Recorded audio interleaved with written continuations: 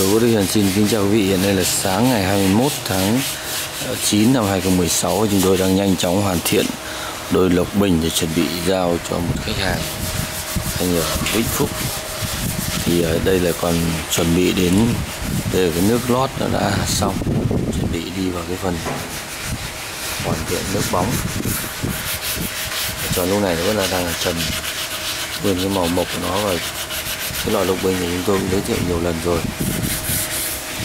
đối với là mình chuyên làm cái dáng lục bình rất là chuẩn mực như này, trên là bèo xuống dưới là ba chữ phúc để họ cổ đấy.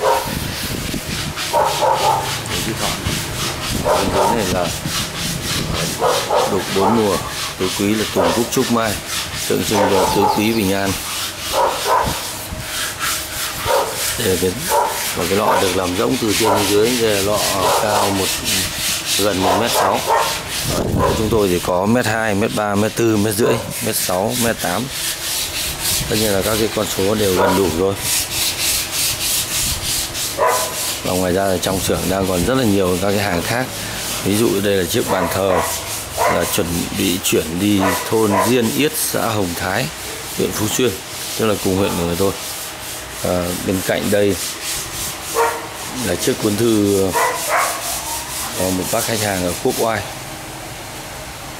của công ty Long Hóa. Và đây là chiếc sập ngũ phúc thùng lộc của bác ở Cẩm Phả. Đây là đôi câu đối lòng mo đây của anh Minh ở trong Hồng Hóa, Thanh Hóa.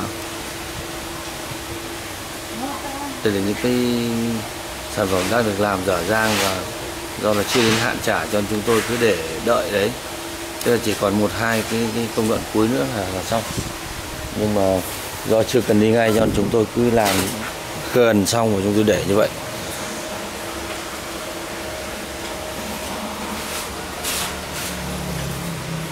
Ngoài ra thì các sản phẩm khác thì đây tràn ngập đây các cái bộ tranh khảm đông bích này rồi tranh khảm về túi quý dùng gốc trúc mai vân vân.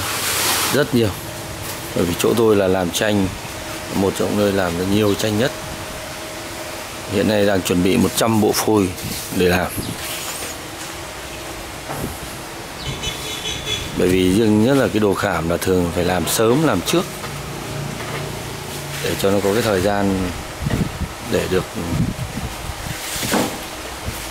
thật là an toàn ở cửa hàng mình rồi giao cho khách.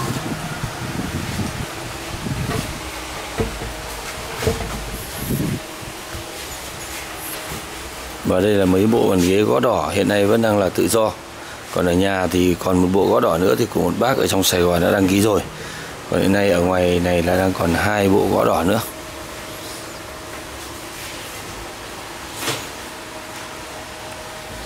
Còn đây là chiếc hoành phi của bác ở Vĩnh Phúc.